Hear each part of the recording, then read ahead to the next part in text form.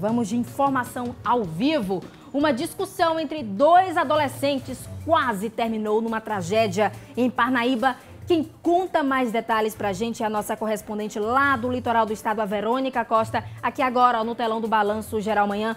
Ô Verônica, que situação é essa? Dois garotos brigando, uma história feia, hein? Quase termina em morte. Quais os detalhes? É com você.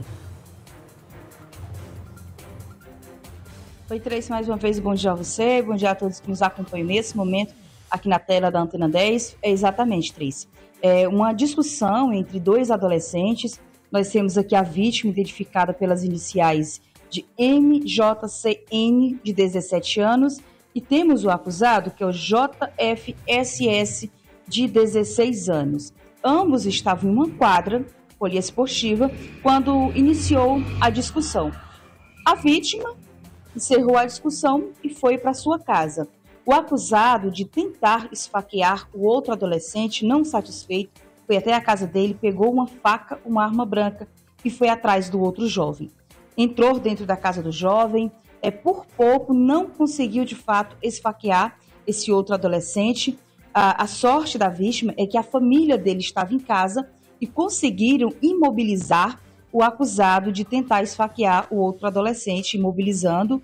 É, chegaram a travar uma luta corporal, segundo informações. A polícia ela foi acionada via Copom, a polícia militar, e foi até o local e levou esse jovem apreendido até a central de flagrantes aqui do município de Parnaíba. Mais informações a respeito desse assunto, nós temos o, o Rodrigo Luna, ele que era o delegado plantonista no momento que aconteceu essa quase tragédia aqui na cidade teve uma ocorrência de briga, né, de ameaça, grave ameaça. Ele portava uma arma branca e por causa disso ele foi apreendido. Nós lavramos o procedimento e ele será encaminhado à Justiça para a, análise do Poder Judiciário e do Ministério Público. Ele vai para o local adequado, que é o Complexo de Menores, e lá é, vai ficar à disposição dos órgãos públicos.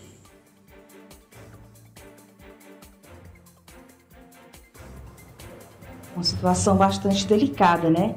É um jovem de 17 anos tendo que responder, que vai responder por um processo, vai passar por todo um processo é, para poder ser colocado de volta à sociedade e essa situação delicada, né? É um jovem de 17 anos que tenta matar um outro por conta de uma discussão usando aí uma arma branca. Esse caso, ele foi registrado no bairro São Vicente de Paula, aqui no município de Parnaíba. É um bairro que fica, inclusive, próximo do 2 Batalhão Major Osmar, aqui na cidade, Tracy.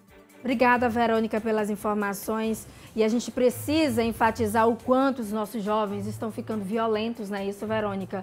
Uma discussão dessa não era para chegar no nível desse. Isso é preocupante e agora ele ainda vai responder por isso. Podendo estar na escola, vivendo a sua vida aí normalmente, por conta de uma briga, né? tentar realmente matar o colega. Isso é preocupante, Verônica.